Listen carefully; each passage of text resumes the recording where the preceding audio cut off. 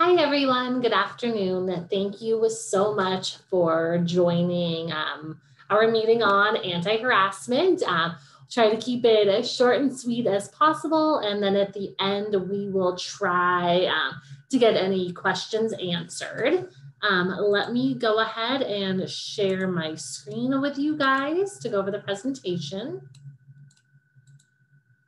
There we go. Okay, so as I've mentioned again, for today's attendance, you must do one of three things.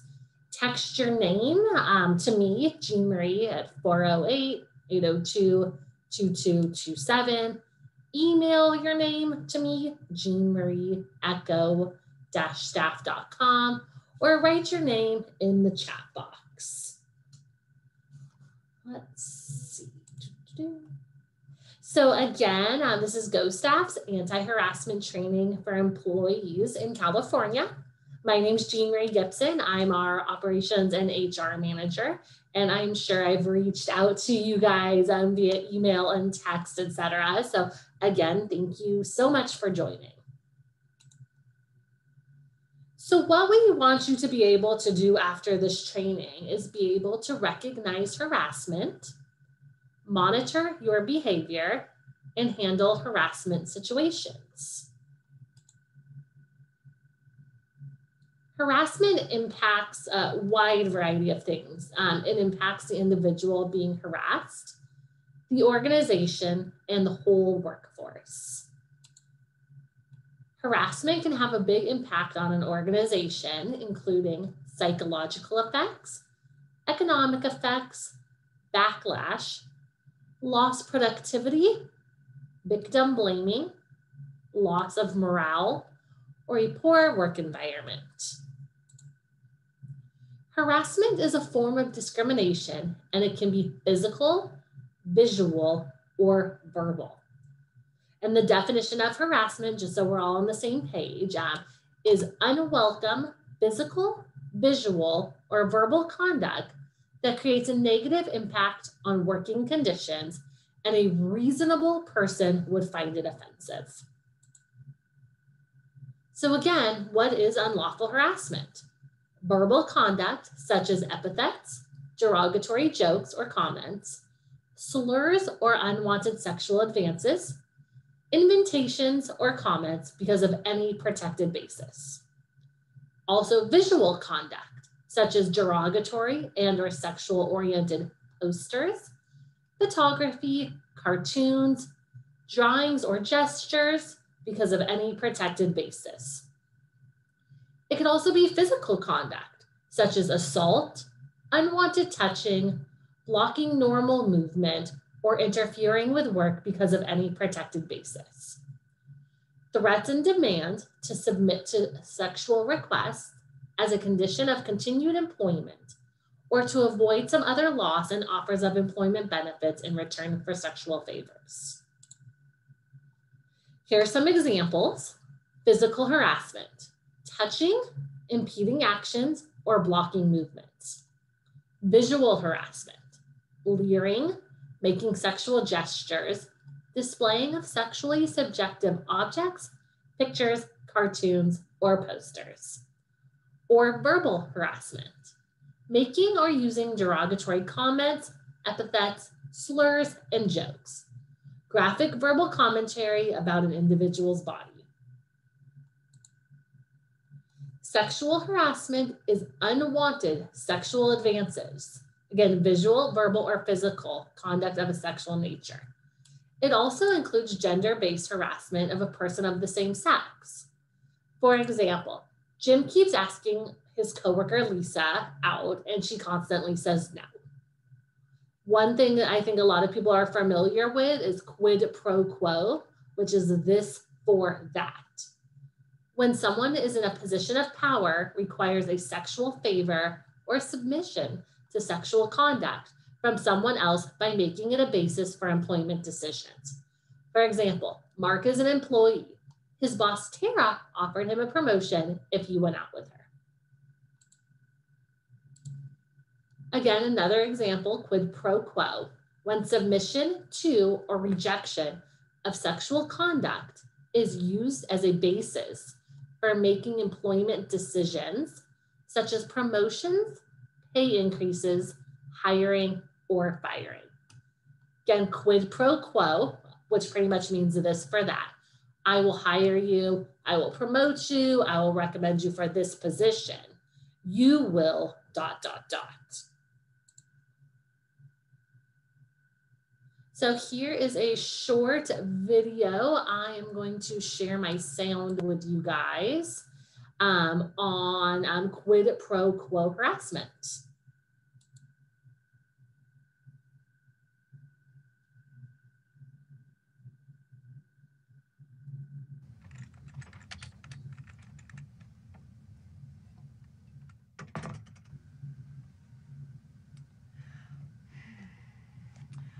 I'm not sure I'd illustrate the data that way, Julio.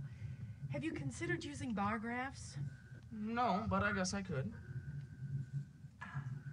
Good, because you want to make it easier for the reader to see trends over time. That makes sense, I guess. That's what I like about you, Julio. You are always open to new possibilities. I've always said you have tremendous potential.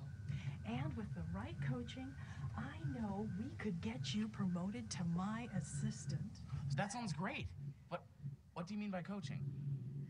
Julio, I respect you, so I'm going to be honest. You would be even more effective if you expressed yourself more confidently. More confidently? exactly. And I think I have a plan. A plan? Yes. I know I can help you with this, because I'm your boss, I'm not sure that we should spend a lot of time together at work. I don't want people to think that you have performance issues. So I think it would be best for me to offer you coaching off site. I'm not sure I understand. We could have dinner together once a week or so, and we could talk about your communication style and what it would take to get you promoted. I've learned some important lessons along the way, and I'd be happy to teach you how things work as you move up the ladder. But I, I'm not sure I feel comfortable with that. Couldn't you just give me advice here in the office? I'd hate to embarrass you like that. What if people found out I was concerned about your abilities? But I'm not sure my wife would like me having dinner with you like that.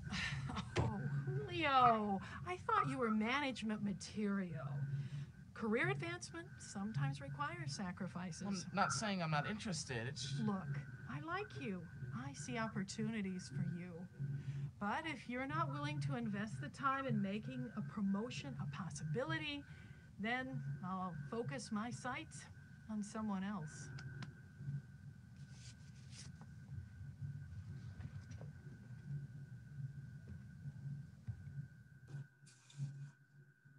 Okay, great. Thank you guys so much for watching. Um, so as you can tell, this was an example of quid pro quo harassment. Um, if you do this, go to dinner with me, um, then I will promote you or work with you on getting promoted. So this for that. Oops, let's see. Oh, sorry about that. Okay, here we go. So there's also uh, forms of harassment that are non-sexual. So unwanted non-sexual conduct of a visual, verbal, and physical nature that negatively affects working conditions and targets protected classes. Protected classes can include race, color, national origin, ancestry, religion, sex, pregnancy, age over 40, medical conditions, status as a victim of domestic violence, marital status, genetic info, sexual orientation, gender identity, gender expression, AIDS or HIV, military or veteran status, disabilities, or political activities. One example is Bill is excluded from team building event activities because he's 45. So he's excluded from team building because he is 45. So this falls under the protected classes of age over 40. And it is unwanted non-sexual conduct that would negatively affect his working conditions and targets the protected class of age over 40. There's also hostile work environments. So this is behavior, either sexual or non-sexual, that interferes with a person's job performance or that creates an intimidating or offensive work environment.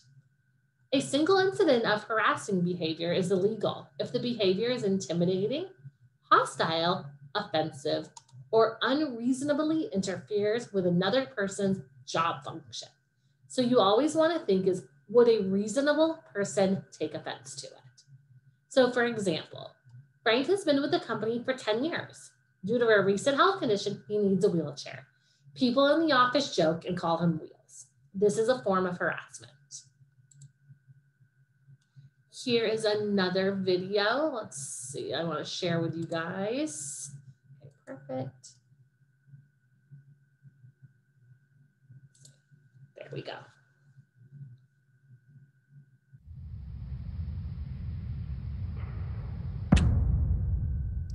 So will I see you at that three o'clock? Yeah, I'll be there. Oh, you got um. Got it.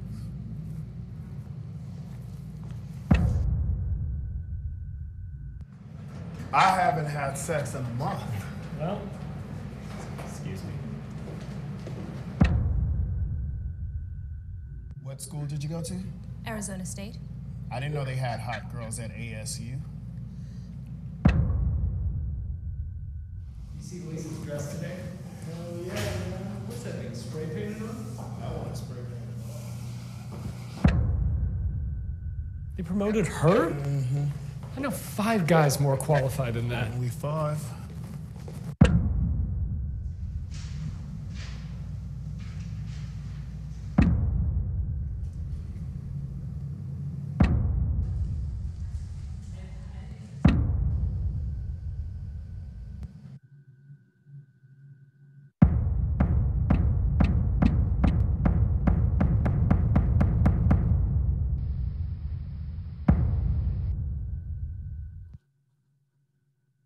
Okay. Oops.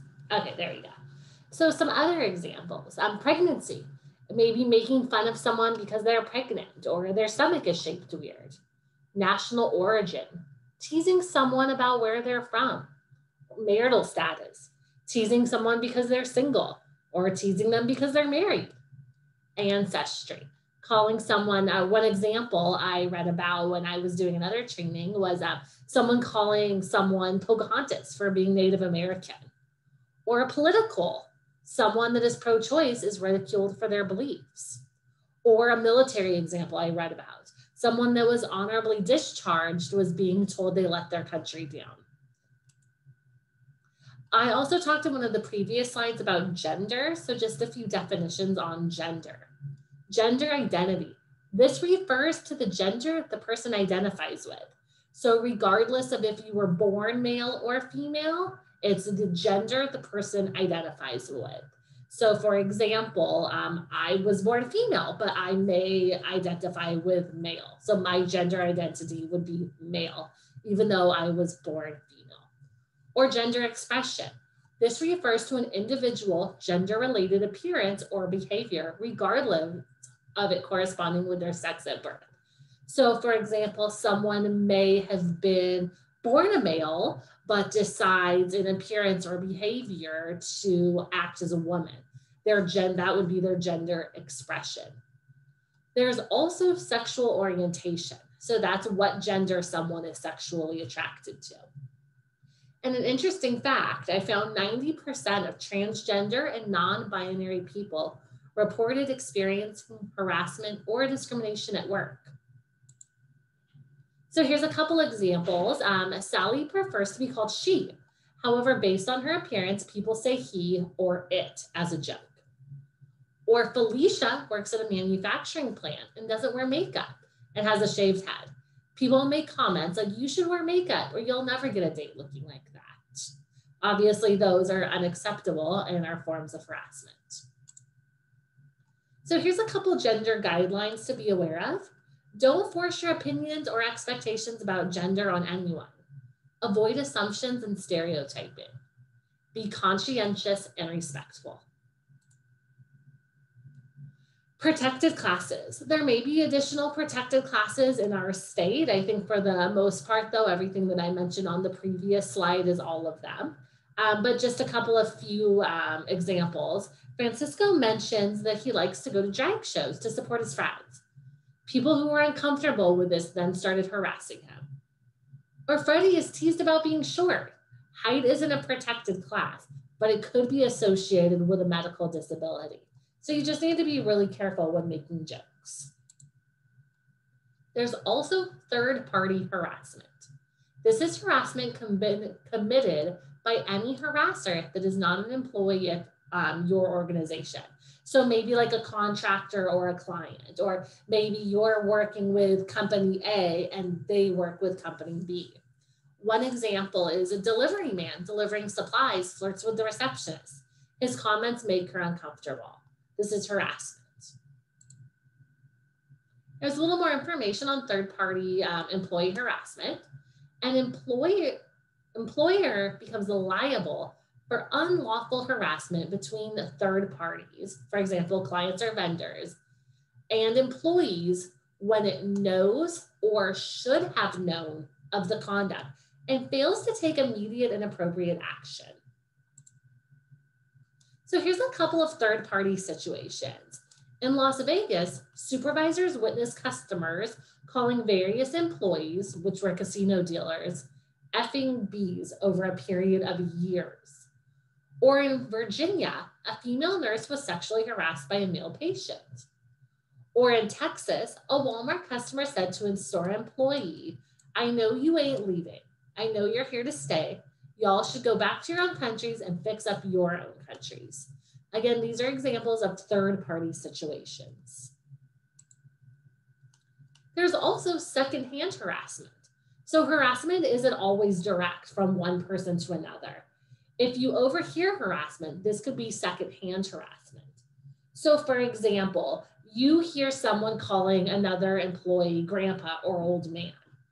Another employee of the same age hears the comments and it makes her uncomfortable.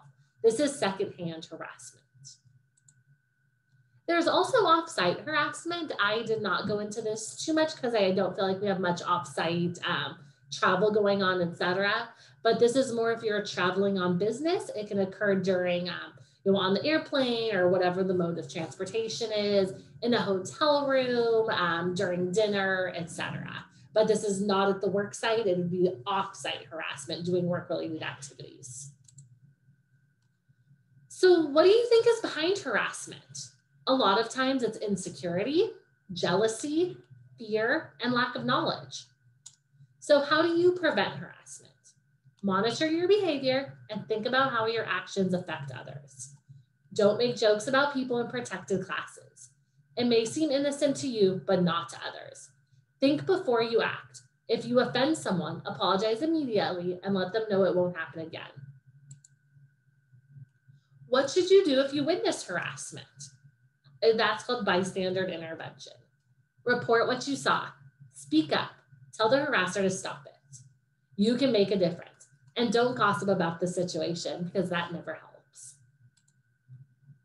Who can you go to if you were harassed? You can go to your supervisor on the job site or in the office.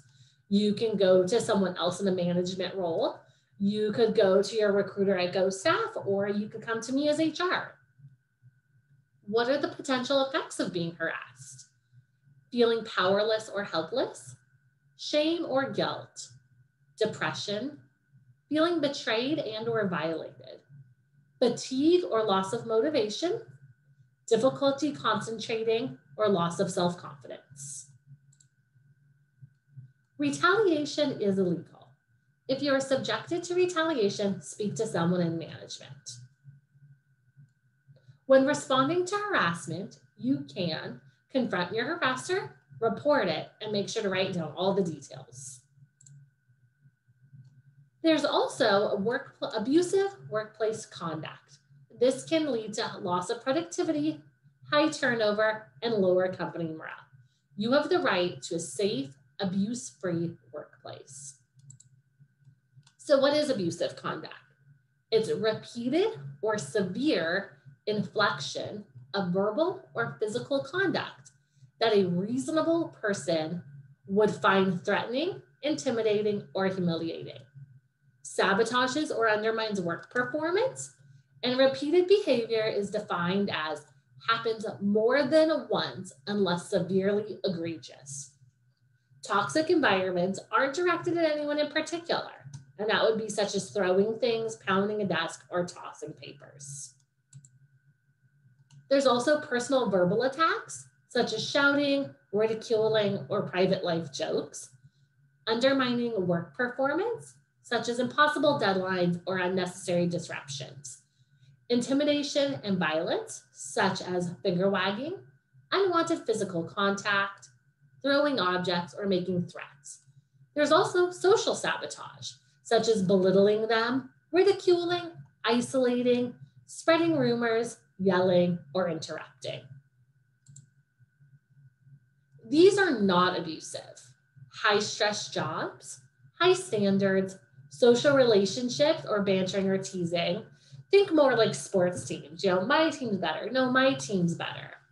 Also, a minor isolated incident, maybe a single inappropriate remark, a pat on the back, as long as you haven't before said that's unwelcome, or performance improvement plans if someone is struggling, or a disagreement between coworkers. If you feel you are being harassed, document the details. Write down who, what, when, any witnesses, any evidence, etc. And then speak to a manager or HR. Again, some things to remember. Don't get caught up in gossip. Stick up for people who are being harassed. Handle conflicts appropriately and communicate with management. If you see something, say something. Uh, GoStaff's anti-harassment policy. We do not tolerate harassment. We are committed to investigating claims and protecting our employees. Please see the handbook for a specific anti-harassment policy for reporting options.